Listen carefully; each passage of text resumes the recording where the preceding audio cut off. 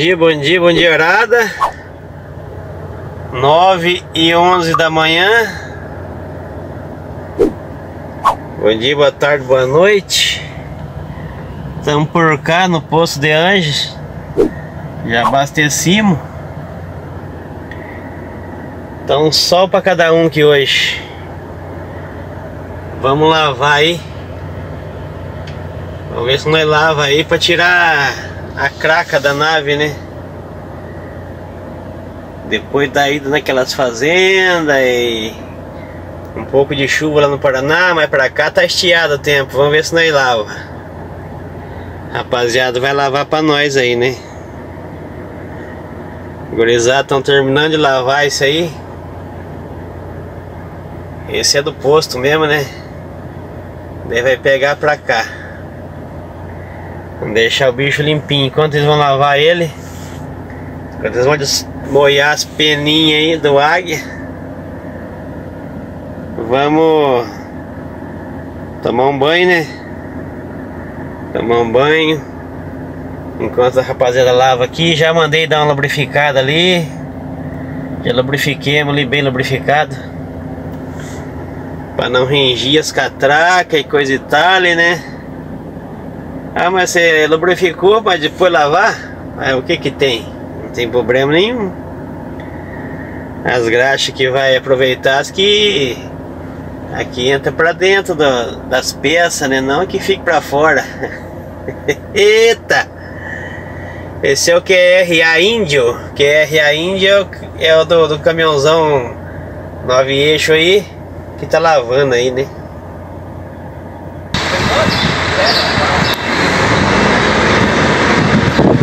Tá o bicho velho. Vamos, vamos embora. Tomar banho. Dá um vento, um ventinho gostoso aqui. Vai pegar as horas ajeitadas, hein?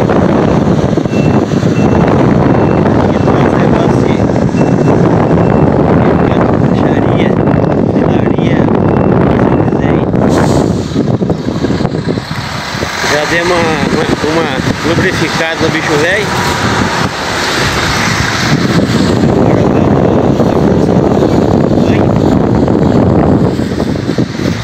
Banhozinho, né?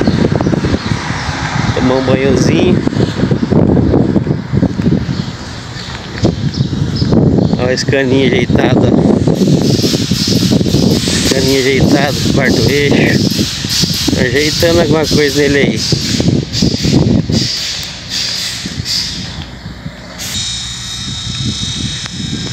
Teve uma vez que deu uma ventania, arrancou tudo esses, esses sombritos aí. Agora rapaziada voltou tudo de novo aí. Fica bom, fica bom que a gente tem uma sombra, né? Pra se esconder do excesso do calor aí, né? Hora dessa aqui de manhã, na parte da manhã. O movimento é pouco, mas à noite dá um movimento lascado aqui.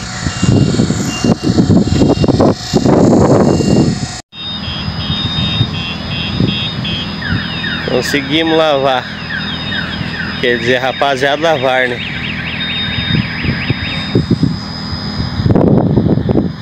Rapaziada, lavar pra nós, ó. A carguinha, essa carguinha ficou mais quadrada que as outras, né? As outras costumam vir 42 begas, essa aí veio 40. Né? Olha os escanhão ajeitados do lado ali. Tudo geladeira deitada. Nossa, tá aí, pelo menos por enquanto tá limpo. Fazer um printzinho aí, tá chacoalhando. Ah, e agora? Parou? É isso aí. Caminhãozada aí.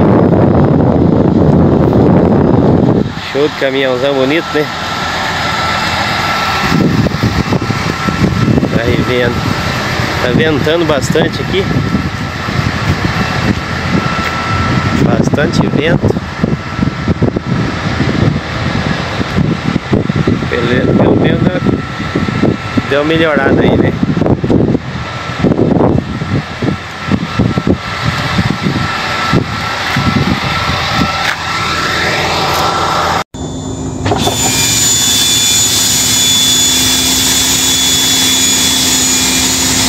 Onze cinquenta e quatro Estamos almoçadinho, graças a Deus Vamos pegar 251, tem umas arturinhas ali, né? E vamos encarar o clima, 32 graus, mas tá prometendo ficar bem mais quente, né? Vamos aproveitar, vamos tão devagarzinho aqui dentro do pátio, vamos mandar um salve alô pra vocês tudinho que tá marcado aqui, né? E vai pra quem não tá marcado também, pra todo mundo que interage no canal aí, tá bom? Salve pro radialista Jonas Carlos, J. Carlos, da Rádio Ubatando FM, na Bahia, é. Rádio FM, né? É, J. Carlos e Maria Lúcia, salve abraço para eles, toda a equipe deles lá, lá em Ubatã, na Rádio Ubatã, na Bahia. Gilberto e Júlia, São José dos Campos, Alex, Lisboa, diz que tem pouca experiência com carreta, é sorteiro e mas é caseiro. Depois nós falamos um pouco a respeito é, dessas coisas aí, né? Ademir Santos de Apucarana, Paulo Sérgio de Guarulhos, Edivaldo Barra Mansa, Rio de Janeiro, Márcia Figueiredo de Itabira, Itabira, Minas Gerais, né? Salve também pro Alisson Aparecido e toda a família. Lá de Itabira também, toda a Itabira lá, né? Ivan Alves, Riacho de Santana, Daniel Araújo é, de Brasília, Walter de Souza, Nélia Amorim, Irineu Oliveira, Antônio Francisco Evangelista de Guarujá, São Paulo, Rafael Nunes, Rosângela Gomes e esposa Henrique de Bauru, São Paulo, diz que acompanha todo, todos os vídeos no canal aí. José Messias, Fernando Peruíbe, São Paulo? Salve pro Bastião lá da, da Patrola, que é o sobrinho dele, lá da Ibar. Piraci Pinto, Antônio Flores de São Carlos. Demir Bezerra, Humberto Aparecido de Umuarama, Paraná. Demir Bezerra de Itaquera, São Paulo. Fábio Menas de Pirapora. Valemir Bispo, Bispo de Porteirinha. José Guimarães aqui de Montes Claros. Luiz Ananias acho que é de Campinas, se eu não me engano. E salve para todo mundo aí do canal aí que acompanha o canal aí, tá bom? Saída boa viagem, saindo aqui do The Anjos 2, tá bom? Vamos dar, depositar o cartãozinho aqui. Beleza? Fique com Deus. É, vamos que vamos, né, meu povo? Então salve vai para todo mundo aí quem, que interage, quem não interage, quem não interage que cai de paraquedas já se inscreva, vai likeando aí, que nós vamos agradecendo, não custa nada, né? E desde já vamos agradecendo, tá bom? Então calor, meu povo, fica fica um pouquinho fechado o caminhão aí. É, é como é que é? fechado o vidro aí, desligado aí, já vira um forno na caixinha aqui. Eita, vamos que vamos, então saindo aqui do Montes Claros. Salve pro pessoal todo que faz caminhada ali ao redor do Poço Formigão, pro Lacerda, pro Almeida e, e enfim, para todo mundo.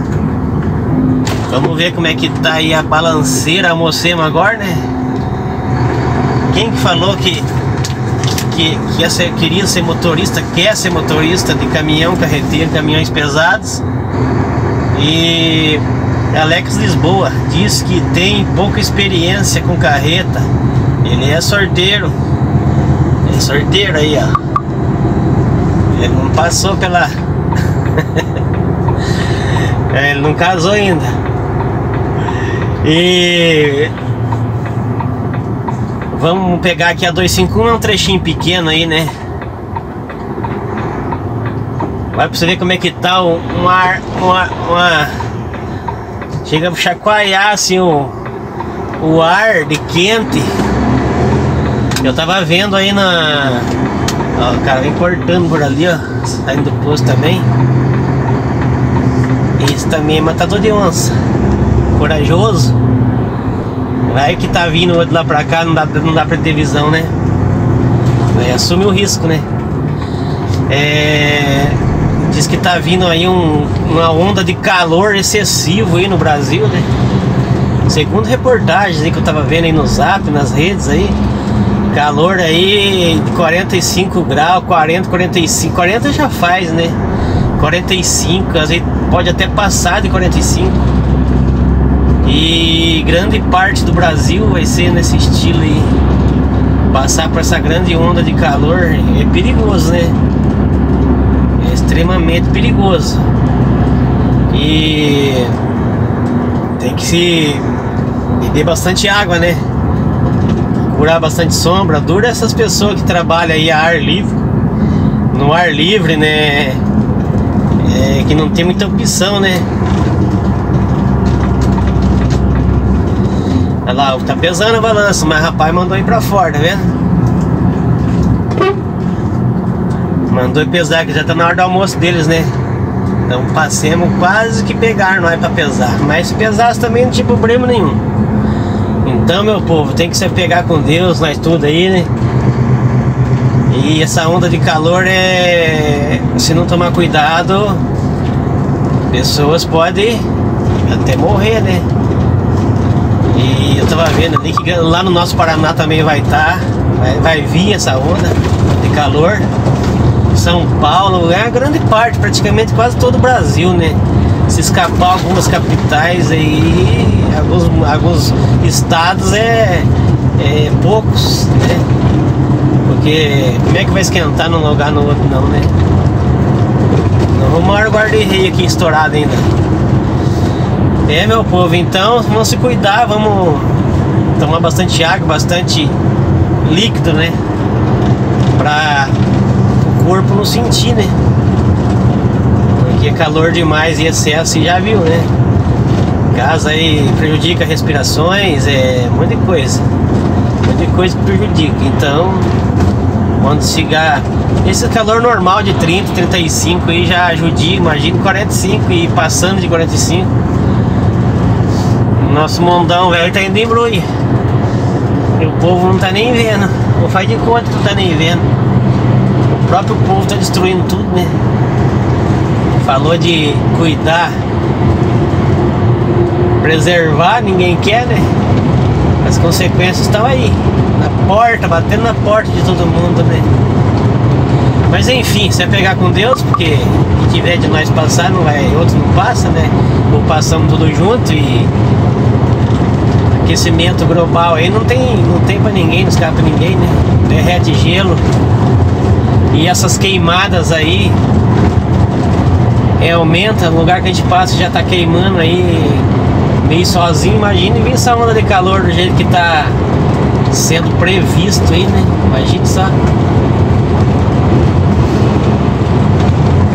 Quem tava falando mesmo de queria ser caminhoneiro, mas tá com um pouco de medo e coisa e tal, e tal e coisa, o Alex Lisboa, não falou de onde que é.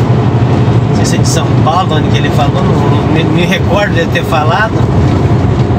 Alex Lisboa, então ele disse que quer ser caminhoneiro, mas tem pouca experiência. A experiência a gente vai adquirindo com o tempo, né? É só o tempo para deixar a gente ficando. Quando a gente ficar bom mesmo, a gente vai embora daqui, né? Da terra. A gente é vivendo e aprendendo e nunca vai aprender tudo. E quando se ficar bom mesmo daquele jeito que é pra estar, desde quando todo mundo sonha ser, a gente parte dessa pra melhor. Ou não, né? Vai saber se é pra melhor ou pra não, né? Se tiver feito por merecer, né? falando assim, quando a gente morrer, no caso, deixar é, fechar o ciclo aqui na Terra, né? Vai saber, né? Se fez por merecer ir pra um lugar bom, beleza. Se não fez que não, cada um, cada um, cada um que fez vai colher o que plantou, enfim. Por isso vai ter que plantar coisas boas, né?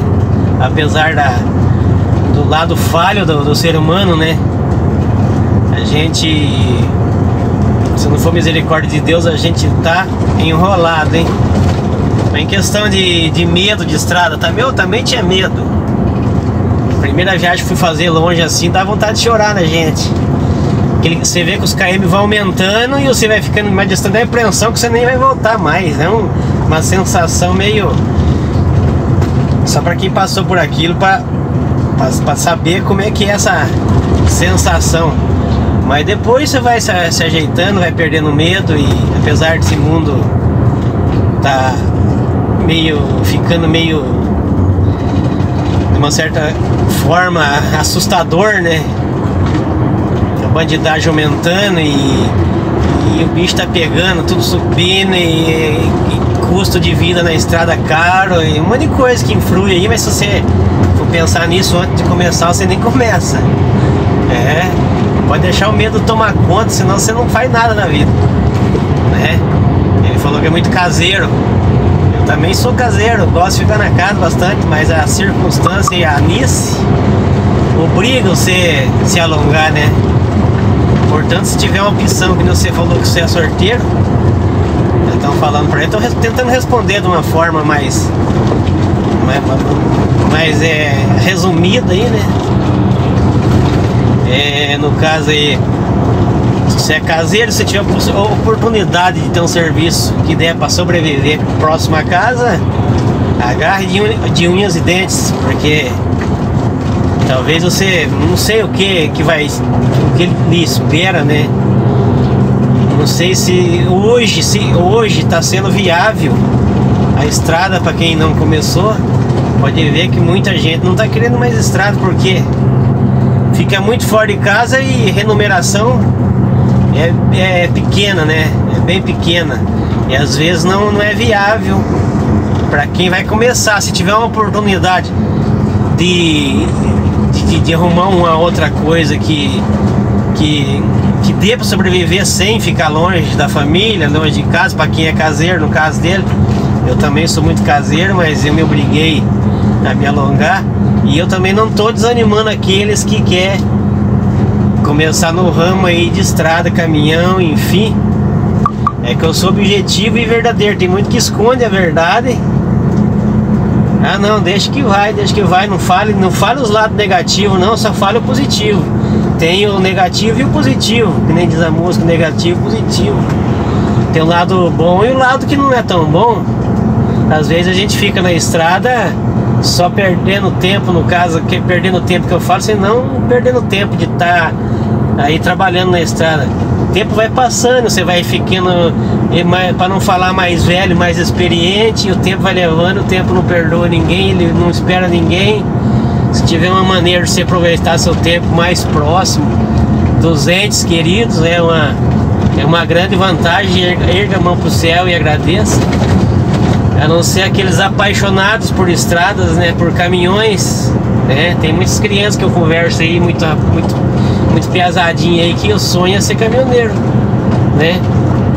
Mas nem por isso tem sonhos que às vezes não, não também não, não, não se torna viável de uma certa forma, na, na, é, debatendo de frente com as circunstâncias de hoje, né? Tá tudo difícil tá ficando mais difícil os fretes, tá ficando difícil o custo de vida na estrada, é, a distância de, de, de que nem das, das pessoas que da, ao redor da gente. Então aqui eu falo assim o objetivo, eu sou objetivo. Às vezes tem alguém que não gosta de contar a verdade, mas tem um lado bom e tem um lado que não é bom, né? Você tem que colocar na balança, fazer um, balanço aí e ver se, se é realmente isso que você quer, né? Porque tem que gostar. Se não gostar, não encara. A não ser aquele um que já começou faz tempo. Que nem a gente já tá tempo na estrada. E acabou não, não aprendendo a fazer uma outra coisa, entre aspas aí, né? Não, acabou não aprendendo a fazer outra coisa assim e acabou se optando por essa que se tornou um pouco mais no, no, no, no, no grau não nós já estamos, dá para ganhar um pouco mais, mas não é em todos os lugares que você vai trabalhar que vai ganhar um, o suficiente para você ficar trabalhando é, realizando um sonho de certa forma e, e bancando o teu sustento para fazer alguma coisa, né? Na vida. Não sei se eu expliquei mais ou menos, mas é mais ou menos por eu falei o lado bom. Tem o lado bom. Não estou desanimando os estradeiros que estão querendo começar agora, mas eu estou mostrando as duas lados, os dois lados da moeda, né? E aí vai depender cada um, cada região vai ganhar um. Depende, tem os, o pessoal que ganha comissão, tem pessoal que ganha o salário mensal, é, tem aquelas. É, aquelas. Como é que é o os convênios aí com muitas empresas que tem, né? Que tem um monte de coisa que, que, que, que vai no pacote, né? Que às vezes se torna viável, né? E tem outros que não. Né? Tem uns que tem cesta básicas, é ajuda, remuneração, um monte de coisa. Para quem, pra quem sabe, sabe o que eu tô falando, né? Então respondi mais ou menos aí o Alex Lisboa diz que tem vontade de ser caminhoneiro, mas não tem experiência. Experiência, questão de experiência, ninguém nasceu sabendo. Tá bom? Questão de experiência, ninguém, seu, ninguém nasceu sabendo. Não esquenta a cabeça. A hora que aparecer a oportunidade e se tenha vontade, agarre com as duas mãos aí. Segurança sempre na frente, né? É, sempre com cautela nas estradas Medo, medo todo mundo tem. Ninguém, ninguém, ninguém pode se dizer que não tem medo. Tem aqueles, aqueles corajosão, minha faca não tem medo, mas sempre tem um medinho sim. Tá bom? Mas o medo você, você dobra o joelho e chama papai do céu e os anjos. Que esse daí você supera fácil, tá bom? Questão de distância de casa, aí você vai, aí vai ser um é o lado mais árduo, o lado um pouco mais árduo aí, né? Então você tem que aprender a acostumar. que estradeiro é, é a mesma coisa de cigano. Não para em lugar nenhum. O que tá aqui, tá lá. Tá bom? Então acabemos de sair da, do, da 251 e acessemos a, 25, a, 15, a 122, tá bom? Respondimos aí o Alex Lisboa de uma forma. Qualquer dúvida, pergunta de novo quando eu vou incrementando em vídeos posteriores. Tá bom? E eu sou curto e grosso na resposta. Falo o lado bom e o lado ruim. Tá bom? E se você tem vontade, bola pra frente, fé em Deus e ripa na chulipa. Tá bom? KM 259 da saímos da agora da 251 e vamos acessando aí a BR 122. Salve abraço para tudinho aí. Até a próxima e até logo. Tchau, tchau e fui!